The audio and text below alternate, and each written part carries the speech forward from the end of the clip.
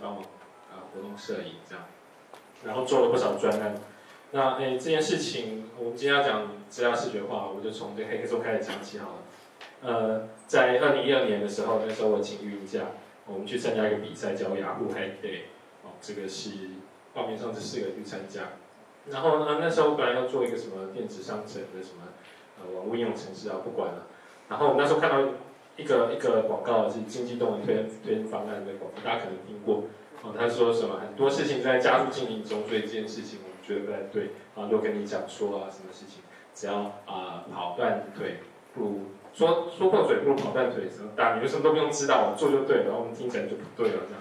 啊，尤其是我们看到他这个影片是告诉我们，最近在加速来操作，因为这个影片四十一秒花了四百五十万。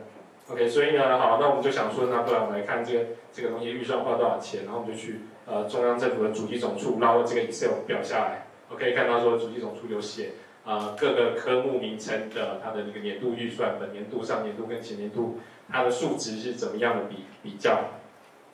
然后，但是这个表其实很不容易看啊，你可以看到说我们要比一个呃本年度、上年度就不容易了，你还要去比各个科别去比等等，它又没有排序。Excel 你要排序，你要自己去选那个选单，然后选出来排序之后，结果又不一定是你要的。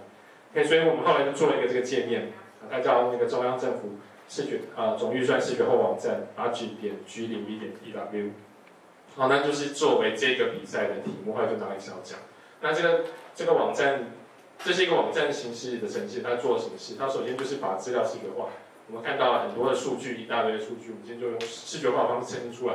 啊，包括左上角的是一个泡泡图，左下角是一个鸟瞰图，用不一样的方式呈现。啊，比方说泡泡图，它可以是整个大圆，也可以变成分类的小圆，啊，去做 cluster，啊，把不同的预算数字 cluster 起来，啊，用圈圈来表示预算大小，用颜色来表示它的变化。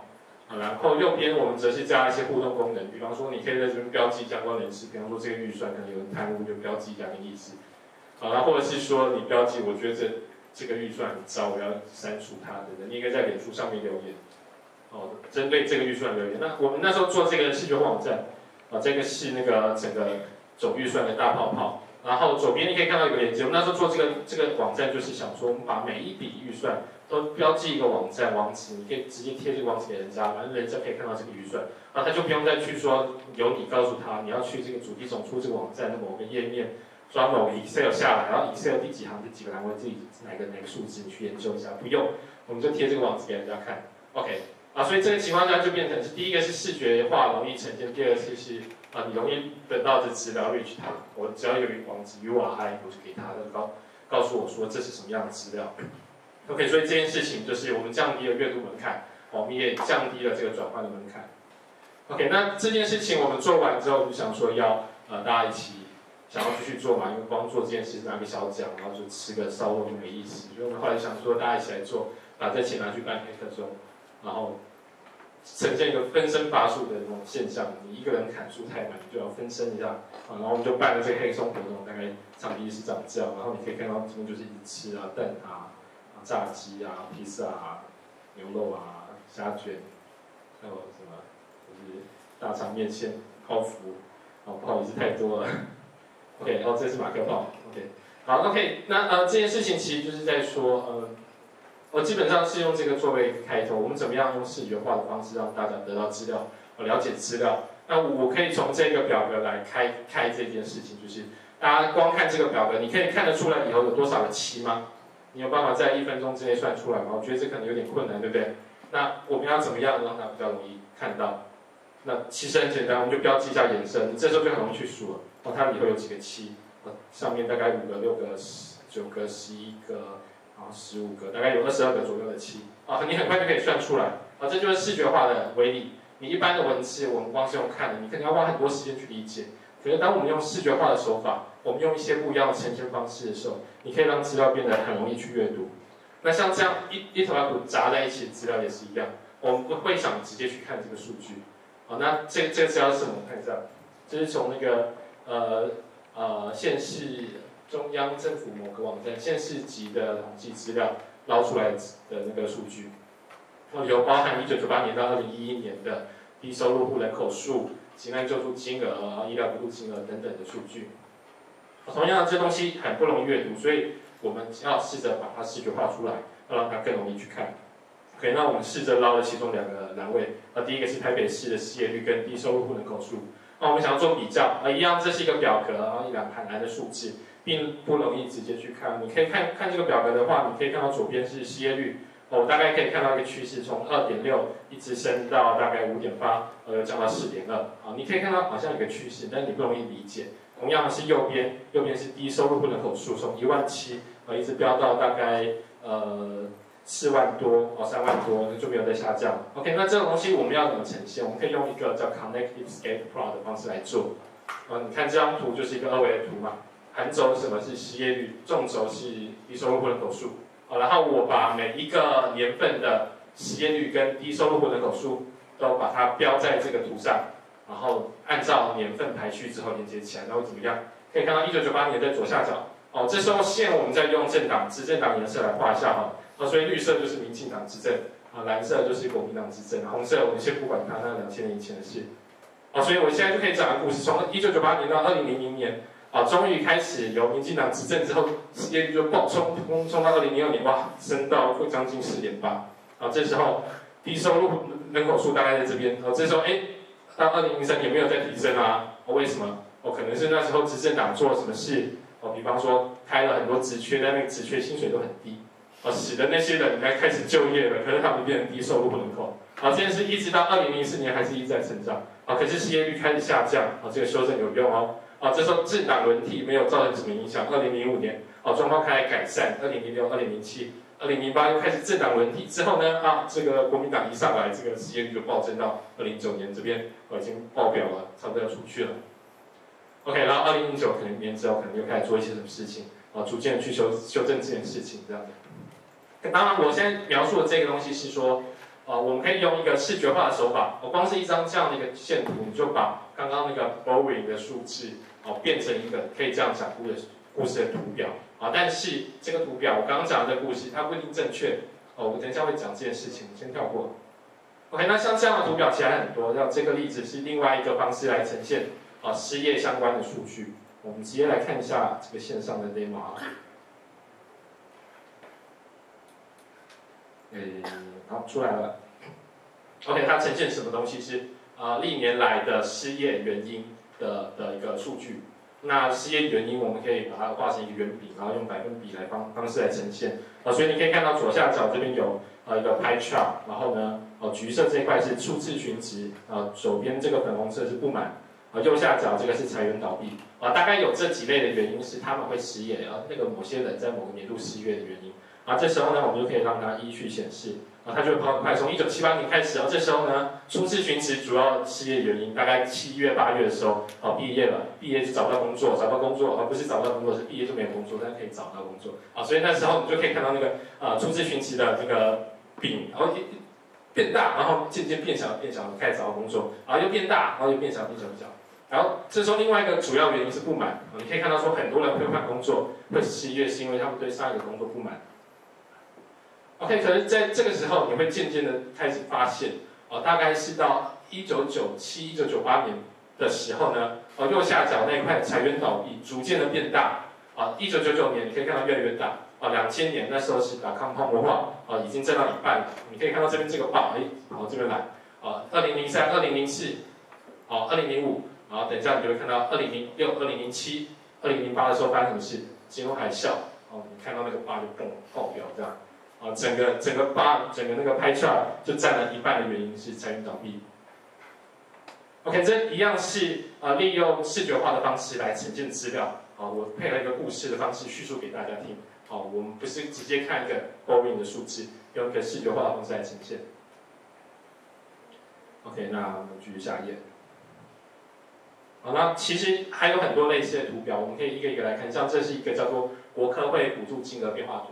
啊，一样，它是用一个泡泡来表示国科会的计划的那个补助金额，然后变化是年份的变化。哦，我把这张图分成左右两边，左边是冷色系的，代表金额变少；右边是暖色系的，代表金额变多。啊，那高低代表它的变化比例，越越上面就代表它变化的比例越高。比方说这个可能呃去年跟今年差了大概一百 percent，哦，这可能只差了十 percent。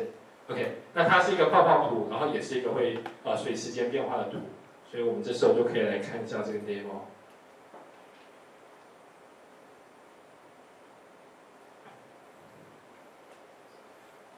ok 然后诶这个泡泡就出来了啊所有泡泡开始出来第一次。然后呢下一年份你可以看到开始有一些变化好像清华大学它已经下来啊清华大学相当大。然后呢呃它一直维持在这边呃可能画面画面外面还有一些东西啊一直看不到。然后上面像这个行政会国家科学委员会，啊，我们就国科会，啊，它跑上来就代表说它增加的比例比较高，啊，那大部分人都集中在下面，那代表说他们。历年来的那个呃补助外的金额，啊，我说的就是像以前在念书的时候，学校老师会申请国科会的那个补助补助计划，啊的那个金额数字并并没有差很多。那这一个大学就是我把所有整个大学，啊，可能每个老师他的补助金额加起来的结果。OK，然后你可以看到说，像是大概在呃八十九到九十年，应该是下一年吧，所有的数字都往左边移，你就可以看到说，基本上全全国。它的补助金额都减少了，啊，这是一个用视觉化的方式，我们去了解到一个讯号，一个变化的状况的的的那个例子。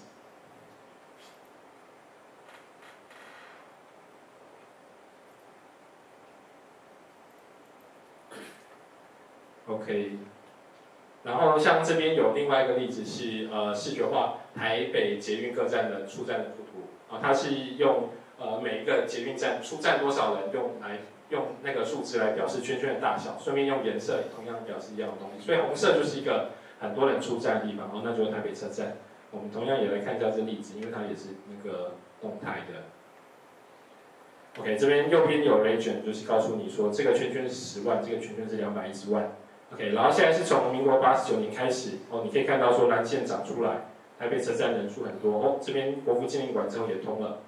然后大概在我们拉一下好了，哦，大概在九十年的时候，你可以看到说中校动画在那边就消失了，为什么？因为那里台风，啊，那个台风使得那边断掉。我们继续拉，你可以看到说越来越多线跑出来，然后那个呃台北车站那个东西越来越红，越来越大，好到这边那个板桥线板板桥线后面也出来了，然后到这边缆车搭好了，然后呢松山那个木栅线也出去了，啊，然后那个局线也开通了。OK，大概是这样的一个手法。你可以看到另外一些资讯，哦，这个是时间变迁的捷运的延伸图，也可以看到一些事件的发生，哦，还有他们流量。比方说，你可以看到台北车站人数一直都在成长，它并没有因为更多的捷运线而开通而造成疏导的效果，因为大家都要去那边。OK，然后这边还有个例子是利用视觉化的方式来呈现立委都咨询了什么东西。主要是这样，因为每个地区都会选立委，但你可能不知道立委在关心什么东西啊。那你要去查，你又麻烦，因为你要去看公报等等的啊。那没关系，我们做了一个网站，可以让你直接在线上去看。那这只是一个那个雏形，它并没有到完整的资料进去，但我们还是可以看一下啊。比方说，呃，我们现在这是一个叫叫做 Close Filter 的界面哦，你可以用不一样的选项去过滤你要看的立委。比方说，我们今天关心的是罗淑蕾啊，啊，点他一下，诶，好，这个罗淑蕾是在台北市。的国民党立委，然后他关关心的主题类别还有关键字有这些啊，可以看到他关心食品管理，关心交通行政啊，这是一个用 take 啊 word cloud 的方式来呈现数据，然后越越大的字代表他关心越多次。OK，还有食品安全，然后他很注重吃东西。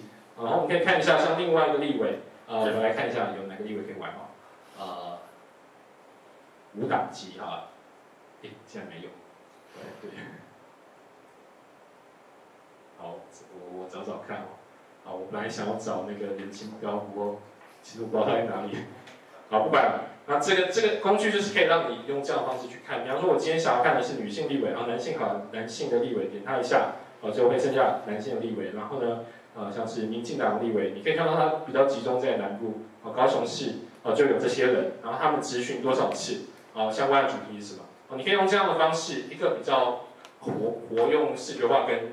呃，网页互动式媒体的方式的一个界面，去快速找到你要看的东西，这样。OK，那我刚刚讲了那么多，都是说我们怎么样利用视觉化去做画一个东西出来。那讲到这件事，就是视觉化或是资讯呈现、资讯图表这件事，我们就不得不提一下这两张图。这什么图？这是大概在一九八零年的时候，哦，呃，纽约呃。有一个时代杂志有个啊插画家，他画了一张图啊，他那是什么图？他在表示说那个钻石的价格在那几年的走势啊，基本上就是右边这样线图，这可能是我们做工程师最容易想说，那我就这样画图哦。哦，那可是他那时候觉得那样太无趣，他就做了另外一个变形，他利用一个女性她的大腿的曲线来描绘这条这这条曲线啊，你可以看到说他在那条线上画了一个呃女生啊穿丝袜把脚抬起来，然后标题就写说 Diamonds were a girl's best friend。哦，那这个这张图它本身可以让呃使用者留下很深刻的印象哦，所以说我看到这张图可能就会记住啊这个概念这张图这样，但是其实那时候有另外一位教授哦叫叫 Edward 的教授，他就提出了另外一个概念，说我们要做图表的时候呢。我们要重注重另外一个东西，叫做 data ink ratio，就是说啊，你使用的呃墨水的比例啊，第一个就是包含所有整个图表它用的墨水比例，然后去除上呃这个图表里面用来写文字、用来画资料的这个墨水比例，这个比例越高，他觉得越好啊。所以以这个角度来看的话，这张图上面这张图其实左边那个比例应该就相当低嘛，那右边这个应该就相当相当高，因为它所有的墨水都用在画那个资料上面了。OK，可是这样这样的概念对吗？因为呃，实际上我们我们看插画的时候，你会看到什么东西？后来就有人做这样研究，就是说，呃，像那样的图表是不是垃圾？是不是所谓垃圾图表？啊，这样研究就是说，呃，在这个呃，应该是加拿大加拿大的一所大学，呃，做这样研究，他去把刚刚那个插画家过去做的十几张，大约十四张的插画。统统拿出来，然后做了另外一个版本，就是单纯的所谓的那个高墨水笔的这个图，然后做了十四张对比，然后请了数十位的呃受试者来，然后一个一个给他们看，随机会出现说，也许有些图是左边，有些图是右边，请他们看这个图之后呢，啊，然后就做实验，接下来就是隔了大概几分钟之后，啊，请他们做回忆内容的实验，啊，然后再过了几几周之后再做一次这样的实验。然后就发现，在你看左边的图的时候，哦，就是那个插画架图的时候，在不管是在长期或是短期的记忆，哦，对这个图的印象你都会比较深刻。反而是单纯只看那个曲线的那个图的时候呢，你的印象比较不会那么深刻。哦，所以这件事就代表了什么？啊，基本上我们在看图表的时候，你光是看简单的曲线，其实并不会让你记得更清楚。反而是如果你有适当的装饰，哦，或者是做更清楚的图图像化呈现的时候呢？啊，你会对这个图表有比较深刻的印象，OK？所以像这样的例子，就是在呃我们实际上在做一些媒体行销的时候有碰过的。比方说像这一张图，这是一个泡泡图，然后排过去的泡泡图，然后也照它的大小画画上颜色。OK，那它呈现什么数据？就是呈现全台湾各乡镇的呃平均单价，那个房屋的平均单价。那这个数据是从实价登录来的。OK，那我们简单的原本可能就只是说，你可以用一个表格去列。比方说什么，呃，南港区四十九万，然后中正区七十一万，然后排序这样一个表格画下来这样。可是我们选择使用视觉化的手法，我用一个泡泡比较精美的方式的呈现去画这张图。他说获得，我们那时候贴在粉丝团上，就可以看到说获得了将近三百六十五个人按赞，然后五百八十九分享，哦，分享比按赞的人还要多。这时候这个粉丝团大概只有一百个粉丝而已，然后过几天它就成长到一千多人去了这样。那像这样图表，它的效果就会比呃原本单纯的那样子的简简单的格式的图表效果还要好。那之后我们也做过陆续做过一些不一样的尝试啊，这可能是一个比较简单的例子，是说它只是一个呃一般的长条图，但是我们仍然做一些装饰啊，包括标示了那个名次，然后做了颜色的区别这样子。那这个图表是在做房价跟房租比例的一个图表，那一样的也是获得啊蛮不错的效果。OK，那当然，其实光是一般的视觉化可能不会达到那么好效果。就像我们我们刚刚讲的一个插画型的视觉化，啊，跟一个单纯的图表那种高墨水笔的图表，其实效果是会有差距的。就像现在左边的那张图，它只是一个单纯的圆饼图，而且它并没有特别的呃设计，也许就是用一个很花俏的颜色，哦，所以你可以看到这张图它的效果就没有很好，大概只有二十几个人按赞，而且并没有人分享这样子。那我们后后来隔了一年又做了呃新的一年的版本，你可以看到这张图跟刚刚的稍微有点不一样，那一样也是获得了相当多的分享，所以代表这件事情是经经过了一年的验证，仍然又重复了一次这样。那可以看到这张图是在那个粉丝团，我们把那张图贴到粉丝团之后，呃，在右边有两个数字，这边是按赞的数量，然后这边则是那个。呃，触及的人数就是有看到这篇贴文的人，你可以看到我们一般的贴文大概就两百、两百、三百这样，这篇是十万，大概是差了呃五五百倍吧，是不是？对，所以这个效果非常的非常的呃差异非常大。那同样的概念，我们其实不光只是说视觉化有那个意义在哦，其实视觉化的内容也是很重要的。我们刚刚讲的是一个比较干的议题，就是呃乡镇的平均房价啊，我们从政府实价登录捞资料下来。哦，可是像这边这个则是另外一个例子，是反其道而行，而不是说我们光注重视觉化，而是注重了另外一个点。哦，你可以看到说这边有张图是大家在干嘛？交冷水嘛。去年大概八月的时候，哦，有一个东西呃流行到台湾来，就是冰桶挑战这个这个事情。啊，那冰桶挑战是国外呃有有朋友为了让大家也体验到渐冻人他的生活，哦，所以就发起这活动。你要么就是交个冰桶，要么就是说啊指定三个人，哦也也做这个冰桶挑战。那那时候我就被指定到，我有个朋友他交完冰桶之后就说，好科比，那今天换你来。那我那时候就想说。哦，我交这冰桶也没意思，交完就没了。那可可是那个活动，其实你不交冰桶，你可以你可以选择捐款。那我就想说，那我去捐款好了。那我就到那个呃线上捐款的页面去看，我就发现，哎，其实它有一个资料表，就是记载了历年大概二零零七年到现在到二零零一四年八月的时候，所有人的捐款记录，它列得很详细，什么人捐了多少钱，啊一笔一笔列出来。我就想说，那我可以来统计一下，因为那时候刚好已经到台湾几天来了，啊，然后就有人在说这件事，大家现在只是在炒作。啊明星都利用这话题来曝光等等，那真的是这样吗？我们就利用呃爬资料，呃我用 Node.js 写了一个简单的那个呃，然后把资料爬下来，然后就做视觉化。那那个视觉化其实就很简单，就一张线图，就这样子。你可以看到这样，那这个图大概就是呃一条线，然后上面一些简单描述，但是它获得了一点二万个分享跟赞。那他在讲什么？他在讲说呃冰桶挑战的那个线上信用卡捐款的记录。从大概二零零六年的十二月开始有记录开始，一直到二零一四年的八月，哦，这边是一条水平的线，哎，稍微有点波动到这边，哎，突然就嘣跑上来这边，这边大概是八月的一月，八月的一号、二号、三号三天加起来，哦，占了整个捐款记录的七十 percent，所以三天就占了你大概八年七八年来的捐款记录的七十 percent。那我就简单一句话，从二零零七年起，捐款总金额六百五十二万。哦，八月单月截至今日，呃，可能就礼拜，呃，就是八月三号，然后总计四百六十万，占了总金额七十点六帕。啊，下图是 x 轴时间，y 轴是金额这样。那光是这个点，这个点就是所谓的新闻点，啊，你就不需要太华丽的图表，你就直接把这件事讲出来，然后给他一张图，说你看这个图就这么震撼，然后就获得了大概一点二万个分享这样。那这个东西换算成流量，可能就是带来了网站将近十万的流量这样子。然后另外一个例子则是在，呃，高雄市的那个气爆事件的时候，哦，有那个网络上有人去政府内部挖了资料出来，然后有另外一个人就把它数位化。那我就看到，哎，既然叫数位化，我们就来叠一下 Google Map 吧，我就把它叠上去，然后按照不一样的管线，像什么雅聚管线、融化管线，着不一样的颜色，啊，按按钮可以开关，我觉得这可能是呃中油管线，你就可以把它关掉。然后这个东西我就是这样做视觉化之后。然后丢到网络上，你就可以看到它造成了五点四万个分享。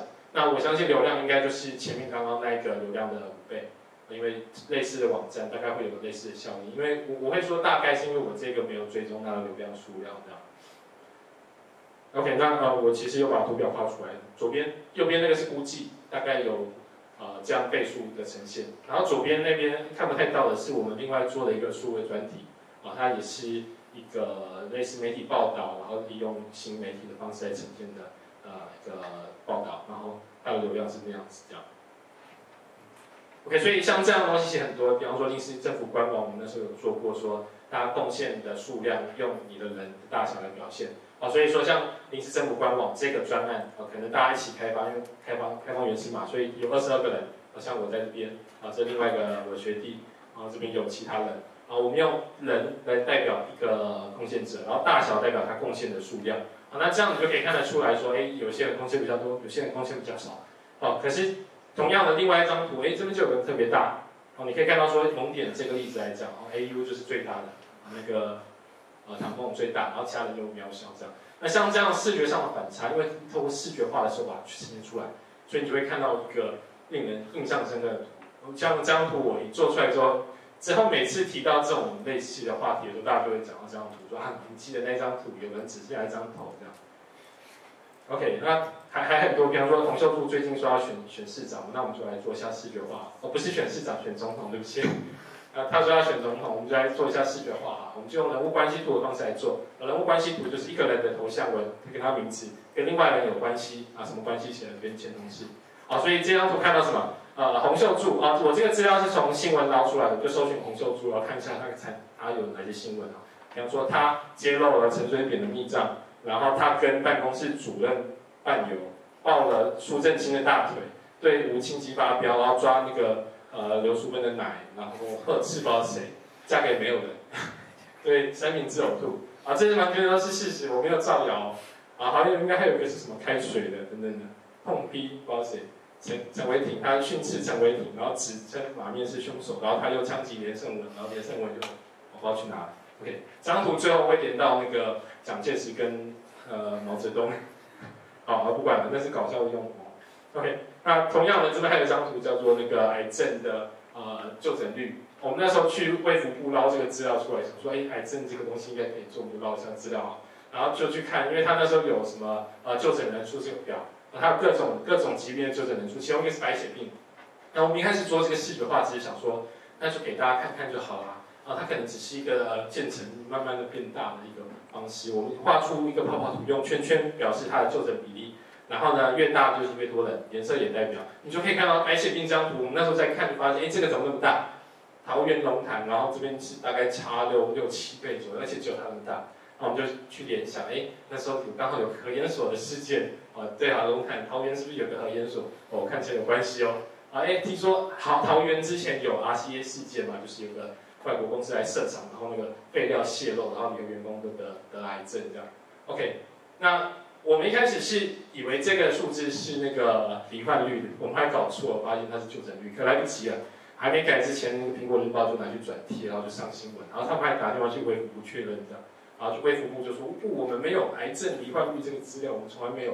然后来我们就把它改就诊，赶紧改回来。啊，这张图一开始也是疯传，哦，但基本上这件事会疯传，就是因为它的资讯力量非常强大，而且这个视觉效果非常震撼。因为你就看到桃园龙潭一个那么大一个在那边，一眼就看到它，你大概就不会忘记它了。这样，OK。那但是卫福部说他们没有罹患率这资料，其实也是错的，因为我们后来就找到一个癌症的那个。呃，资料库，然后我们就把资料也统统捞出来。哦，那时候真的是费了一番功夫哦，做了张图。OK，那个资料库它需要每一个，它有有很多资料哦，就是第一个就是各种癌症啊，各种癌症在各个乡镇，各在各个乡镇的各个年度，它的罹患数字，呃，人数有多少？啊，所以说也许像是，呃，新北市的淡水区，哦，可能二零一一年就一个数字，二零一零年有个数字。那你要捞出这些资料，你要怎么做？啊，你如果是在那个网站上操作的话，你要按七下滑鼠，然后取得一笔资料。哦，我们都知道大概全台湾有三百多个乡镇嘛，然后呢有多少年？也许就二十年好，那就六千。啊，然后呢，然后还有大概二十种癌症，这大概就啊十二万，十二万你要按十二万乘七下的滑数，大概是一百万次。然后基本上你要请一排空读师，每天就用点话术。然后如果手抽筋，要赶着换人。不用，我们就用爬资料的方式爬下来，然后就把它视觉化，哦，把它画在台湾地图上面，然后是一个动态的界面，哦，它可以从大约一九九零年爬到二零一一年，然后这个东西会是一个乐图，绿色就是比较少少人罹患，红色就是比较多人罹患，哦，我们同时呈现人数跟比例，比例就是除以那个乡镇的人数，但是出率，因为其实年轻人跟老老年人的那个罹患率应该不太一样，我们并没有做这个 normalize，基本上让你看个趋势。OK，那这张图光看的话，你可以看到左下角，那大概是在那个嘉义布袋那一带，啊，那一带一直有那个深的问题，啊，就是黑角病的问题。OK，那像这样的例子还有很多，比方说我们做那个呃前阵子四月二十号的时候发生了呃规模六点三的地震，然后那时候我在七楼，那个摇的真的也蛮大，然后过了一个小时，立刻做了一个叫做灾害型地震视觉化的东西出来给大家去看。那它是基本上是一个地图，然后把台台湾历年来的那个灾害型地震，然后用它的伤亡人数做它泡泡全员大小，然后中心点就是发生地震的地方，然后照那个年代会一个一个爆出来这样。OK，那另外一个则是在水库限水的时候，我们做了那个呃水库的那个水量的视觉化，这是水位的变化。OK，然后像是这个例子，则是在呃呃前前阵子爆出那个英国兰有那个那个叫什么？农药红茶的事件嘛，然后我们就把另外一个之前在台大新闻所学生做的一个专题把它丢出来看，好，他会利用呃那个世界地图的方式呈现，然后告诉你台湾的茶叶都来自哪边，或者是你都出口到哪边去，那这个专题。当然，视觉化一开始，其实我刚刚讲的就是看故事、看新闻点。啊，你什么时候爆出来会有效果？那以这个例子来讲，他们其实是课程专题，那时候做的时候题目是有点干，大家不太关心茶叶哪里来哪里去嘛，啊，所以做完这个也许就放着，放了好一阵子，忽然这议题爆出来，哦，立刻就把这个东西提出来给大家看，啊，马上也是造成一一那个啊一股那个话题性这样子，OK，所以我刚刚讲了那么多，其实重点就是在于说。视觉化这件事情本身，我们一开始有看到说，你可以其实是比起一般很很干的文字或者是简单的图片来讲，是有一个可以让人更有印象的效果。那同样的故事这一点还是很重要。你就算一个很华丽的图，你缺乏的故事，你就会比较薄弱。比方说，你今天只是呈现简单的数据出来，所以。呃，就这个角度来看，就是设计跟故事的部分，当然资料也是不可或缺的。所以视觉化这件事情，我这边写的是新闻视觉化，我觉得这里可能是呃脱不了关系的。Anyway，呃，有三个很重要的点，第一个就是资料，我们要去爬资料，我们要去取得资料。比方说像是我刚刚讲的癌症资料，好把它爬出来，我们这样才容易可以秀。那接下来就是设计，我们可以用不一样的方式呈现它，比方说用个长条图，用个线图，或是用个台湾地图，好，我们去呈现，那就是设计部分。啊，当你做到这两点的时候，你可以是一个研究型的视觉化，啊，让大家可以自己去玩。啊，比方说一个界面，你可以选，可以看不一样的地方。那这时候这个东西还没有所谓的新闻点，哦，所以可能会像是刚刚我讲的茶叶那个问题，你平常不会去关心茶叶，哦，直到新闻发生的时候你才会去关心。哦，所以另外一个面向就是故事这个这个部分，你什么样的资料值得大家去看？我们拿到一个资料之后，里头有没有什么特殊的地方？哦，比方说政治现金的数据。它里头可能会有不一样啊异常的数据，我们就可以去分析，得到故事之后，你就可以把它写出来。啊，像我刚刚的方式，用一个简单的视觉化呈现，哦，或是 anyway 适当的呈现方式，配合一段叙事，你就可以做出叙事性的视觉化，把这件事情告诉大家。这样，那当你这三点都做到的时候，就是一个很棒的视觉化。所以这是我认为的视觉化的三个要素。OK，那呃，除了做啊这种。行销或是传播的用途之外，我们刚刚讲说让更多人理解，啊，更多人可以看到这件事之外，视觉化你也可以应用在哦对自己分析资料的时候使用。哦，这这边有一个专题是我们之前跟台大的新闻议论坛合作，哦，在选举前做的一个专题，它叫做“里长事务知多少”，哦，最熟悉的陌生人，它基本上就是想要在选举之前让大家对里长更了解，哦，通过这个方式去关心，呃呃，关心那个政治议题。我们可以看一下这个专题大概长什么样啊？它基本上是一个问答式的互动式的那个呃专案。那你可以看到呃一开始有一个开场动画，然后接下来，接下来会是一连串的问题，再问你一些关于里长问题。比方说第一个问题是男台湾的里长性别比男跟女的比例是多少？大家要不要猜看是多少？觉得是二比一的，请举手。OK，那觉得是四比一的，请举手。那觉得是一比一的，请举手。那觉得是六比一的，请举手。哦，不好玩，大家都答对了。OK，好，那这样的问答，我们就会搭配一些呃相关的描述，以及一个简单的视觉呈现，比方说男性跟女性的比例。还有，我们会统计大家的回答，然后寄寄到网络的 Web 上，然后你就可以看到说你的回答是横线这个，大家的回答平均都都在这边。OK，那比方说接下来大概就会有六七个问题，像是这个是李李长的平均年龄，我想大概是五十五岁吧。OK，那没有错。啊，这边就会有另外一个这个 histogram 啊，表现资料给你看。那哎，这个问题我觉得也不错，大家来猜看好了，李长哪个哪个党的李长比较多？我们来猜看，国民党的请举手。OK，大家觉得国民党比较多，那民进党的呢？亲民党的有没有要举手？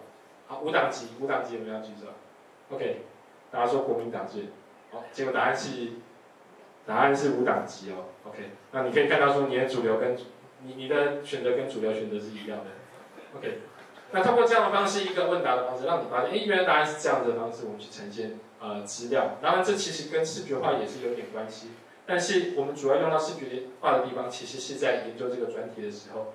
你可以看到说，我们一开始拿到中选会的里长资料，我们做什么事？第一件事，我们就是把里长的年龄，呃，应该是包含以前曾经参选过跟当选的里长年年龄，我画出来，用 histogram 画出来，从一九二一年，这边应该是一九一九八六年吧。哦，一个是 histogram 出来之后，哎，常态分布，然后中点大概在这边，一九五五年，大概就是五六十岁左右。然后你这从这张图也可以看出一些事，就是哎，原来里长年纪都蛮大的。第二个就是说，有人九十岁了还是当里长。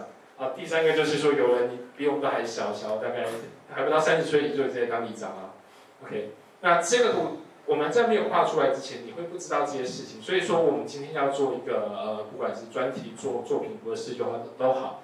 你在一开始拿到资料的时候，先用简单的视觉化，我们做一个这样的东西出来。你也许画这张图花不了多少时间，我是用一个叫 chart chart 点 js 的 library 画的，就把资料喂给他。啊，然后我扣下来，大概十行，大概五分钟，哎，可以画出来，那就不错，你就知道这个分布。同样的例子还有很多，比方说我们利用台湾的地理形状，啊，搭配资料丢上去来看它的一些现象。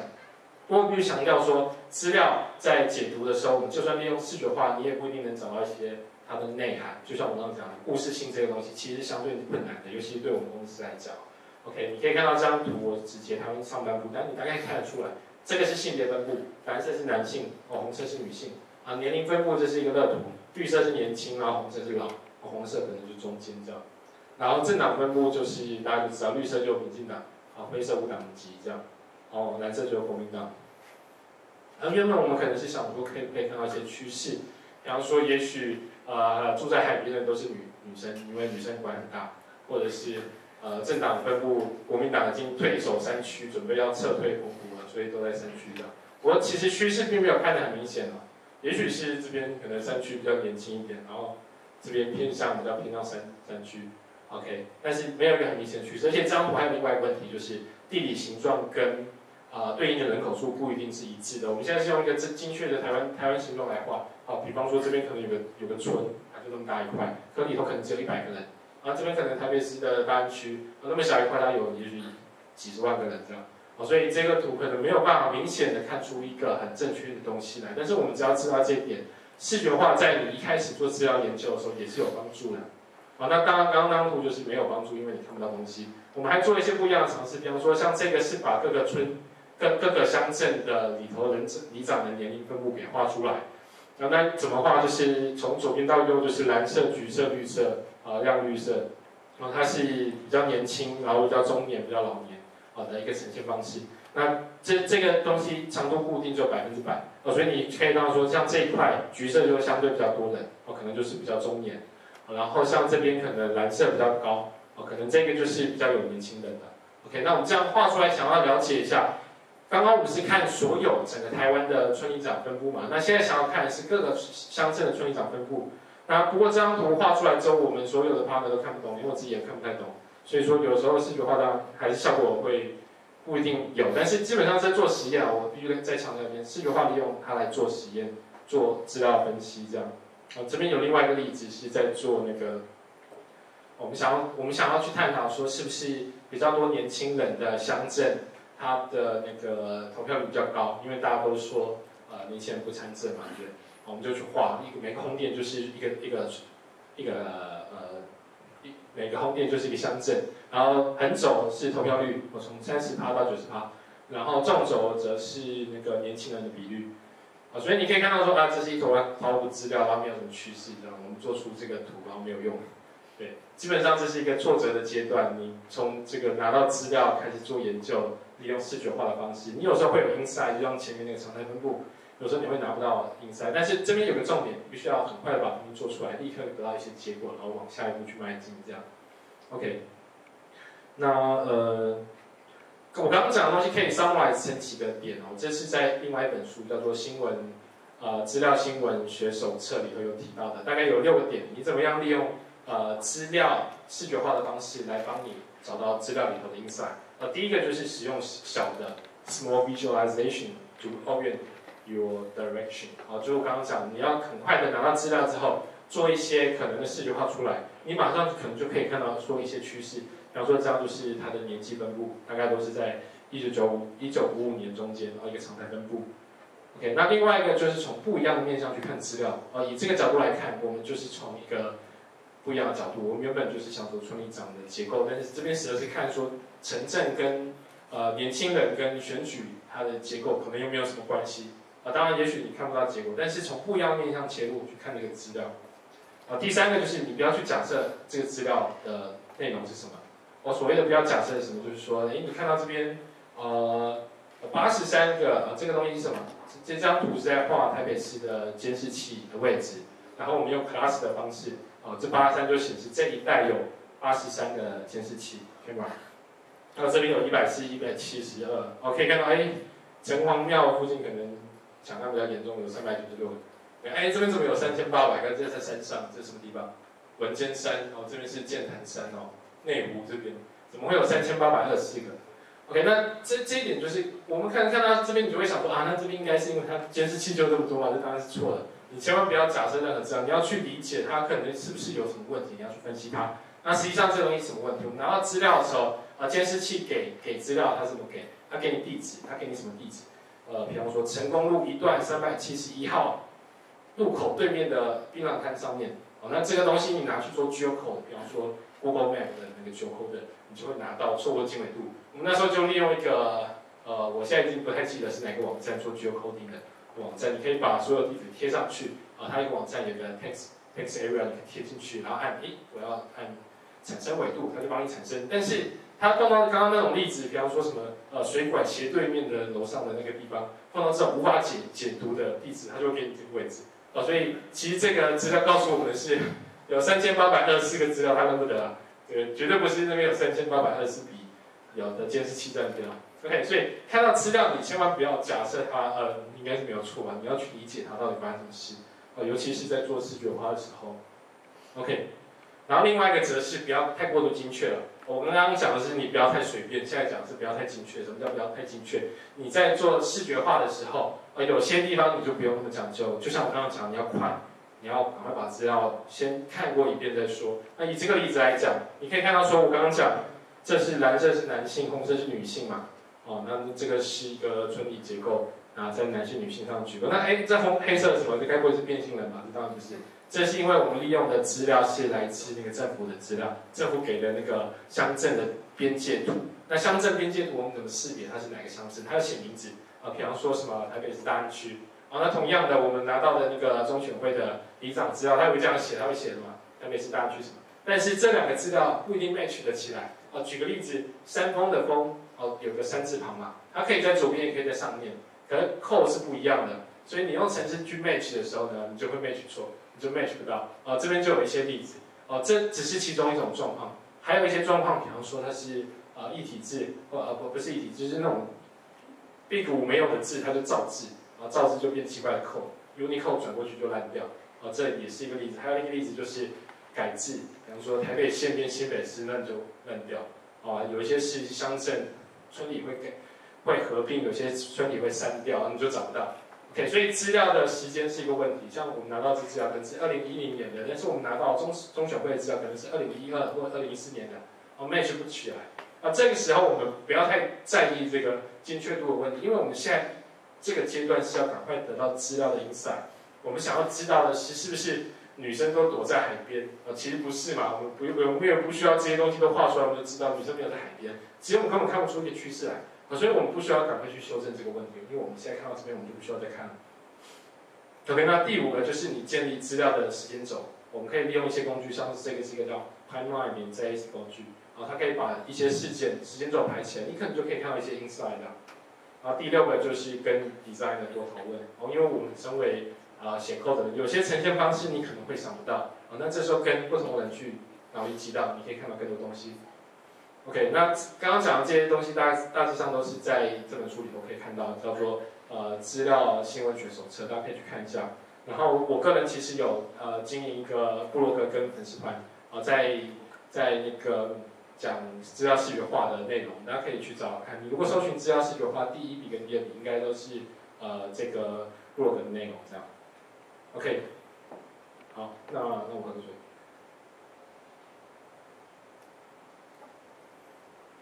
OK，那我刚刚讲的部分，大概第一个就是如何利用资料快速的让人吸收东西，这是传播效率的问题。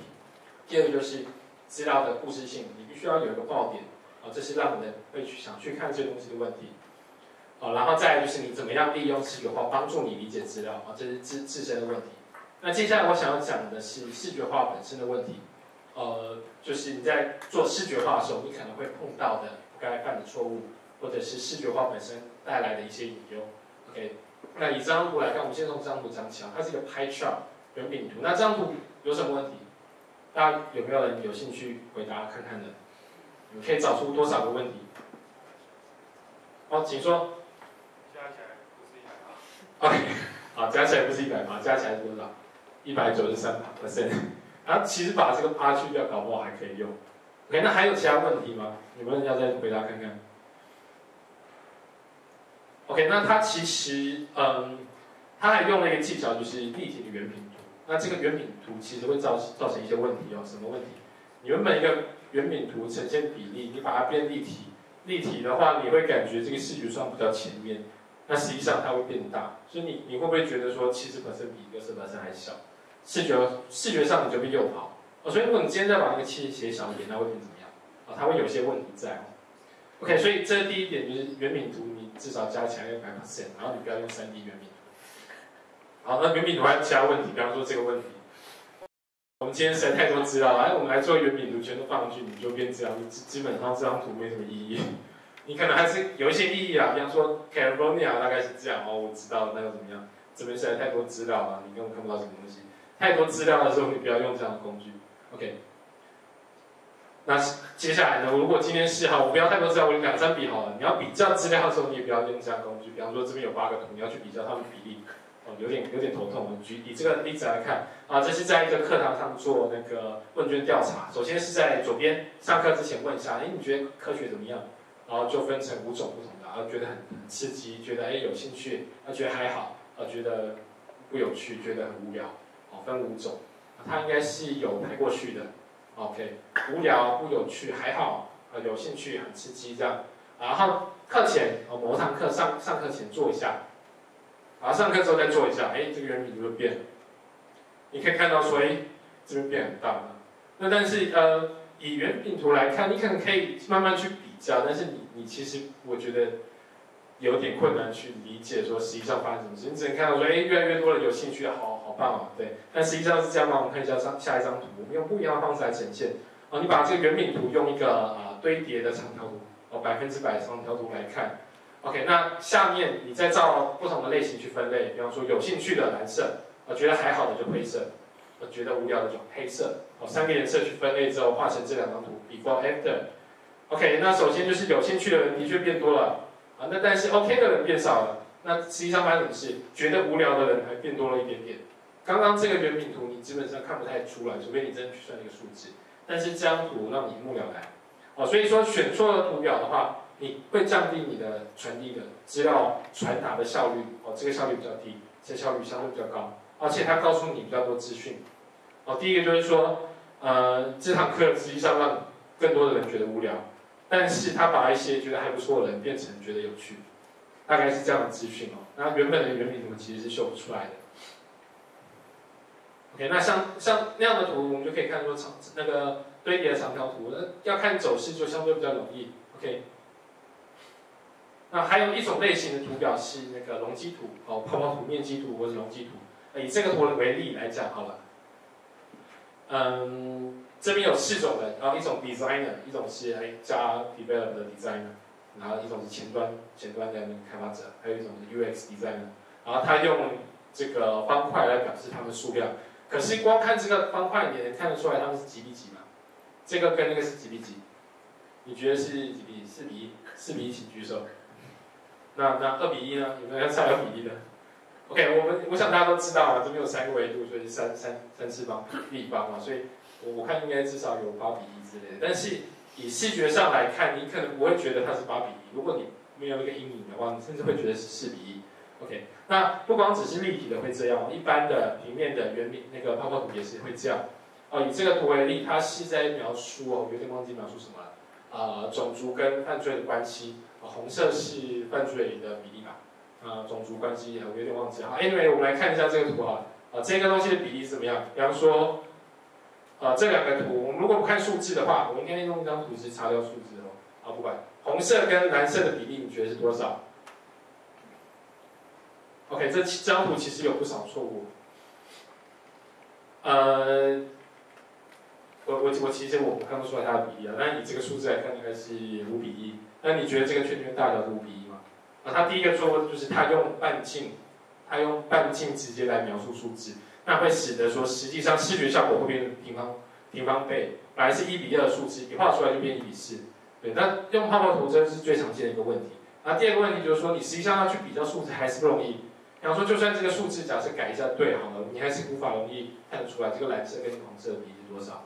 我我我其实真的算不出来，我猜这两个可能是一比二，啊，这个呢一二三四，OK，它的直径是四倍，所以所以它啊它的面积是十六倍，哦，所以那个应应该是一比十六，那基本上很很不容易看，但是这时候你简单的画一个线图就很明显嘛，对不对？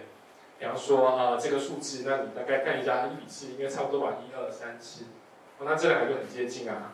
哦，那这个东西真差不少倍。哦，用一个线图可以很清楚的看到这样的东西，你就不要用圆饼图，圆饼啊不，你就不要用泡泡图。那泡泡图什么时候用？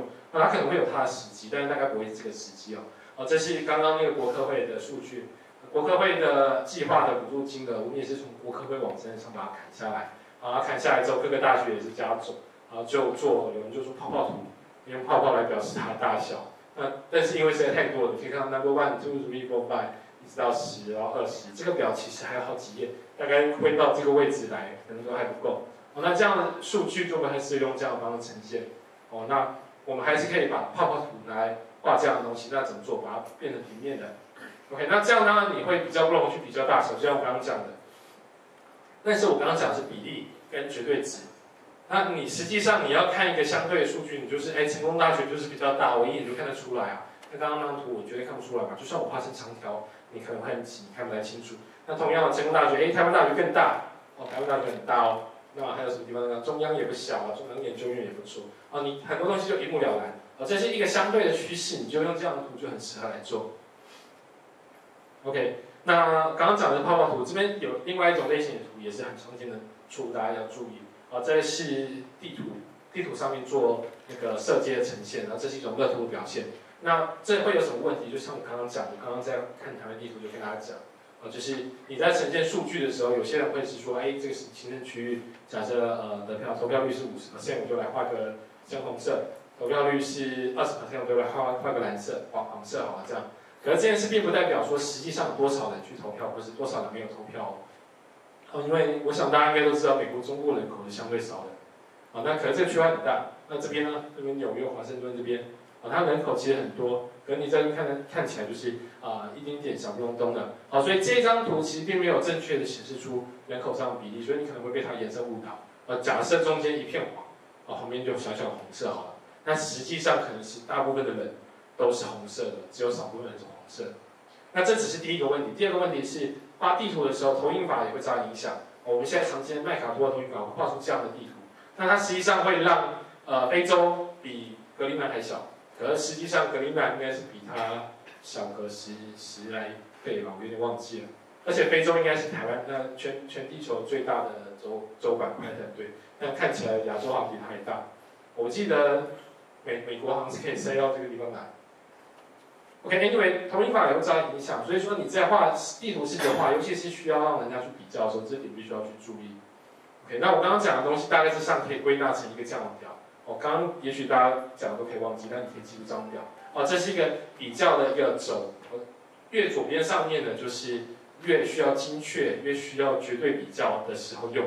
哦，越右边下面的时候，大概就是你需要一个纵观，你需要一个相对或者是一个概念性的比较的时候，就用右下角的。我们来看有哪些。啊，第一种就是像是长条那种啊，position。啊，第二种啊，它是一个 position，但是它可能有位置变换。啊，第三个是长度。再是角度，啊，这些方向，啊，再是角度，OK，然后再看就出现面积跟这个体积图，啊，曲率图，啊，shading 跟一个 saturation，啊，这是呃它的亮度跟它的饱和度，OK，所以大概是像记住这样的趋势。我们在地图上要呈现东西的时候，如果你今天因为地图本身其实要呈现完整的资讯比较困难，啊，你可以用乐图来画，啊，但是要记住面积比例。